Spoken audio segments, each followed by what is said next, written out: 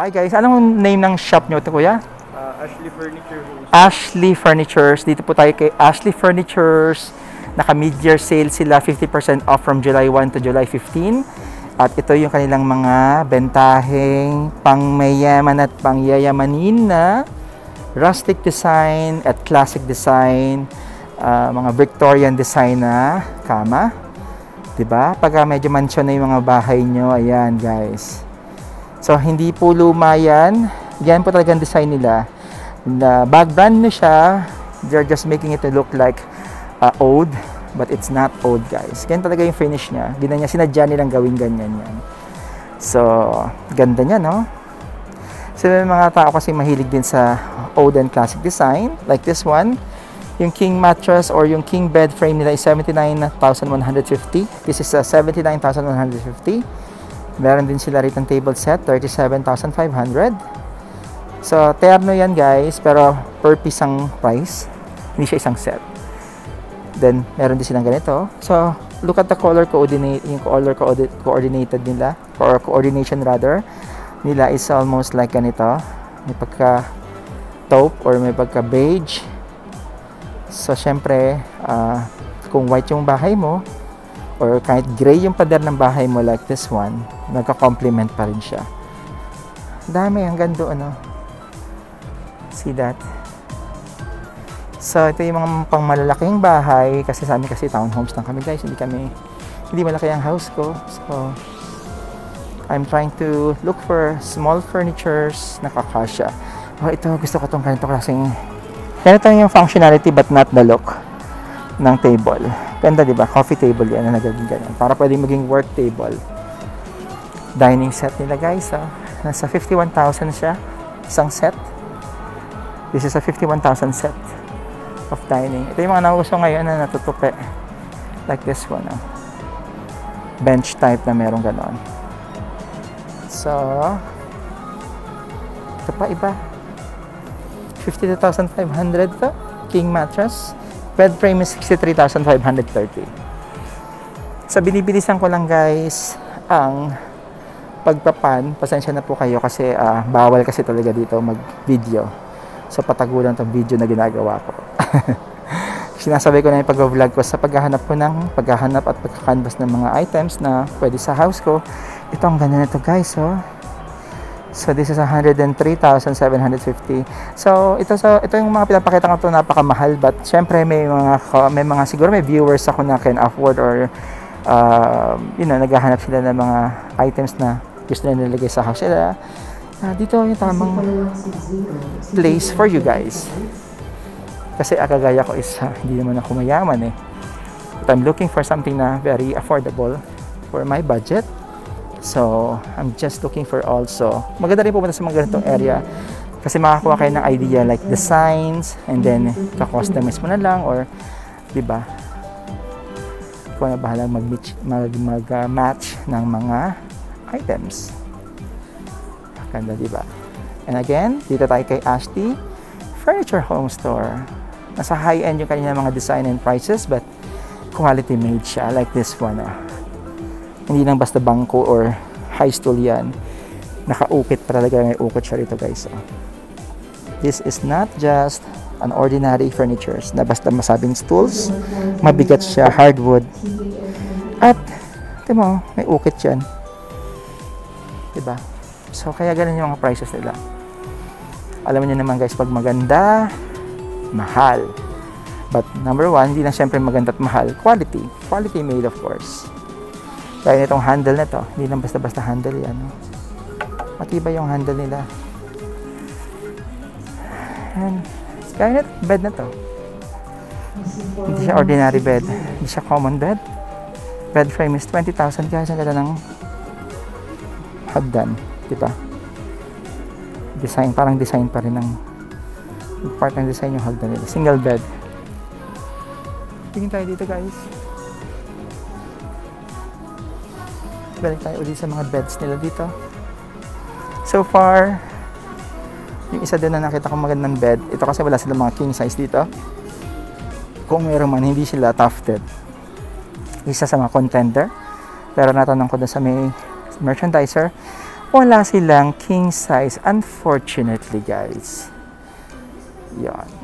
So, hanap tayo ng mga sofa. Hi guys! Good news. Ito, hydraulic bed to. So, ito daw ay 33? 33,950? 33,950 king size. Ito yung tsura niya guys. Ganito rin ang kulay or may gray? Same din. And then, uh, gas lift siya. Okay. Yung wide. Ano yung ano niya, yung pinaka ganon? 78 ba yan? Anong pinaka size niya? Kasi dapat 74 by 78 eh. 1.8 by 2 meters. 1.8 by 2 meters. Ano kaya? Standard king size ba siya? Or para? Sige nga, punta tayo dun. So, ito yan guys. Hi guys, narito tayo ngayon sa may section ng mga dining nila ng landmark. Ito yung nakikita ko medyo okay. It's 20,000 lang siya isang set na guys. 20,490 499 Ito yung tsura niya oh. Glass top siya. And then, bakal to. Ito naman is malambot yung silya niya guys. Pero it's a metal din guys. Pero in terms of uh, look, papasa sa akin tong ganda rin. At the same time, syempre, yung price, right? So, 20,499 siya isang set. 6 6 dining chair. Saan? 6-seater dining chair. That is one option. Second option na nakikita ko is ito. This is uh, 6 to 8 seater dining chair. It is uh, almost 30,000. It's 29,699 guys. It's extendable dining chair. Bakal din yung seat nito guys. And then may pagka faux leather yung fabric o yung balat niya. Yun ang puso. And then natutupi ito guys. So paano siya natutupi? Dito, sa gitna. Ah, alis to eh. Then pwede siyang iksaan, pwedeng habaan kung may kahandaan kayo. I think this is one of the contender. I'm not sure if this is discounted pa or it's just regular price. Again, it's 20,906.99. Marami dito design guys. Nasa era tayo kung saan naroon ang mga dining sets nila. Sa mga Scandi design, gusto ng ganito. Pangko, meron din sila. 26,499. Ito naman is 21,000 for uh, 21,099. Kaibahan nito yung bangko niya, hindi siya cushioned. Bangko lang talaga. Pero Scandi design siya. Ganda rin. Ito, ganda nito. So, mas mahal to. Dahil nga, yung bangko niya, may kutsyon. Meron naman tayo na nasa dark mahogany color. Scandi rin. Hindi siya yung kagaya ng light na ganito. Solid wood to guys. 26,299 siya. Ang ganda rin niya guys. Diba? Kung gusto niyo naman medyo grown up na yung gusto niyo furniture sa house niyo, eh, na kay mga kids, ito na. Possible na pwede na to. 26,499 to isang set na to. Wooden to. Lahat wooden. Pati to. Ganda na to. And then meron din silang scoop design. Which is natin yung scoop design nila. When you say scoop design, yung chair is scoop.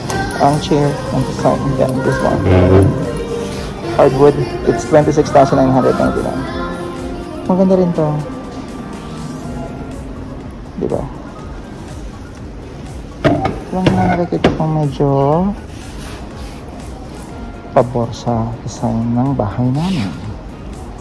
So, 5,900 49 siya. Kitchen cabinets. So, nasa landmark ako guys. Huwag kayo matakot dito sa landmark pumunta kasi hindi lahat ng prices sa landmark is mahal. Most of the kasi sale, sale prices din siya yung mga nasa kita ko sa labas. Nakaikot na rin ako sa ibang store. Almost the same lang guys. Ito 11,699 to. Mas mataas.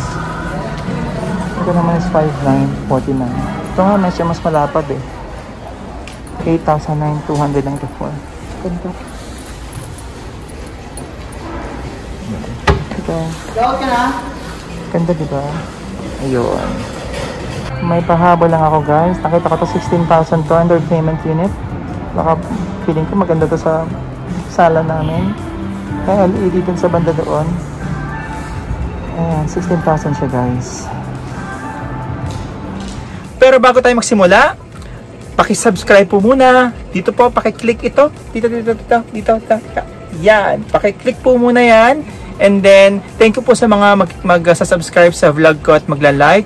Paki-share na rin po. If you have any comments, uh, please do comment on the sa comment down below. And then, yung sasagutin ko po as much as possible yung mga tanong nyo. Salamat. Hi guys. Ang ganda nito oh, 26 1,249. Kuya, discounted na ba to? May discount ba to? Ang ganda nito kuya. As in. Ang ganda guys. Tsaka yung kulay ang ganda. Ganda, ganda, ganda, ganda, ganda. Regular price, regular price, it's 26 na. 26,000 price niya. 26,249.75. May 0.75 pa. Pero ang ganda guys. Bagay na bagay ito sa unit namin. Diba? So, papakita ko to. Isa sa mga iniisip ko. Meron pa ako nakita rito ito. Yan ah. Kasi mahaba yung aming town, ah, townhomes. So, kailangan ko mahabang silya. Yung banda doon. Kasi masyadong maiksi naman ng kung ano, kung 3-seater lang doon. So, yung mga ganitong silya. Yan, kukunin ko yung size yan. Okay pala guys, nakalimutan ko palang sabihin na ang price nito is mas mahal na sa 33,549.75 siya. Yan. So, kukunin ko yung sizes nito. Ito guys, nakita ko to. Ibang version. Maiksi lang to eh. Pero nasa 25,949 siya. Ayan, maiksi lang yung kanyang design. Medyo... Kasi syempre, i-base ko rin yung bibilin ko sa size ng aking nagiging uh, sala. So, ito yung mga L-type. Ito pa isang L-type na medyo darker color. Almost the same price din sila. 24,000 to. 949. And then ito is my storage sa ilalim. Yan o. Storage sa ilalim siya. Yan. Meron tayong beige. Maganda rin yung design na to. Kasi may ito ka sandalan yung ganda. Kasi matigas. Siyempre din tayo sa comfort. Unlike yung nakita ko kanina, pwede mo paglaro-laruan yung ito, pwede mo pagpalit-palitin eh. That's in yung era dito is masyadong masikip. Ito, ilipat mo doon. Ito naman, ilipat mo dyan. So, di ba? Pwede na siya, kakasya na siya sa space mo. So, pwede mo siyang laruin. Pero hindi ito ang gusto ko, guys. Ito ang gusto ko. Ito. Ang ganda na ito, guys. Feeling ko ito na yung kukunin namin. Ang ganda, oh. Parang pag tingin ko pa lang eh, aantokin na ako. Siyang higaan. Ayan, oh. Ito na sigla niya. Diba? Bakal yung sigla. Testingin natin guys. Ito guys, testingin na natin. Siya masarap. Comfortable naman ako. Sa aking silang ganito. Kung nga rin manandal akong TV. Okay. Comfortable naman ako guys. Sa mga magiging bisita ko, sarap naman mandal. Ito yung pagamitas ng paa mo. So, maganda siya guys. It's nice. It's very comfortable. So, hindi lang po sure kung washable itong mga to. Kasi syempre, di ba?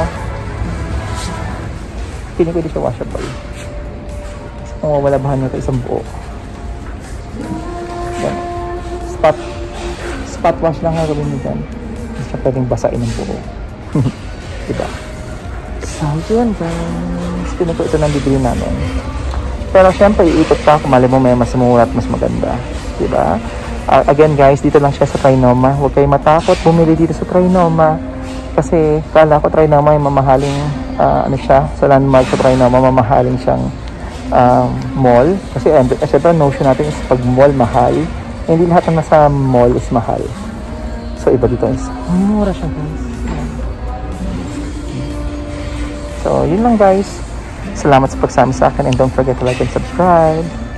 Bye-bye muna guys and please comment below, okay? Bye-bye.